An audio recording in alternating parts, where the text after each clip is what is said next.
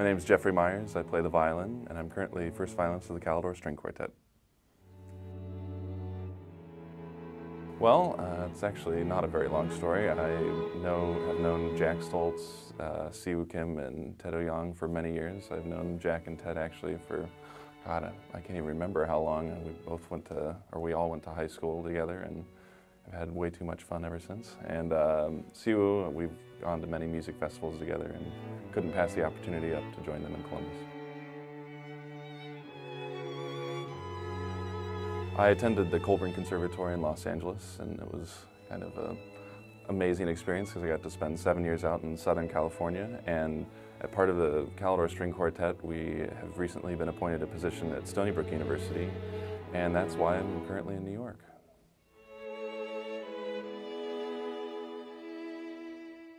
Well, getting the chance to perform in Columbus is always a very special opportunity for me because it's where I grew up and it's where I I identify with. I mean, I've watched all those Ohio State football games growing up, and you know, it's just a very special place for me to go. And the people are so supportive and so enthusiastic about what we do, and I just can't wait.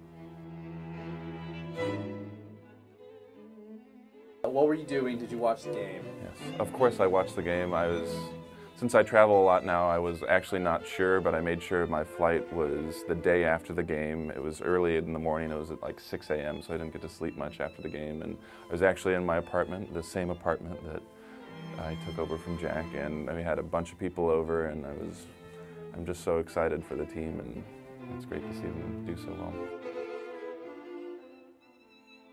Just really excited to see everybody in August.